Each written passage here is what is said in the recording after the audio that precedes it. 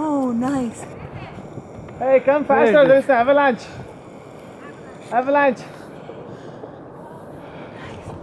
We are Yeah, we can see it. Come Mount through. Edith Fast. Run, run, run. We're hiking up to Mount Edith Cavell. We just saw an avalanche. You can see they're in progress. Right there.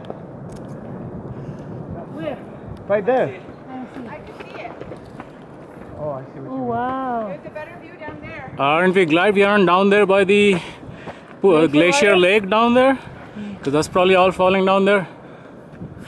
But it would disperse by the end of it. You never know.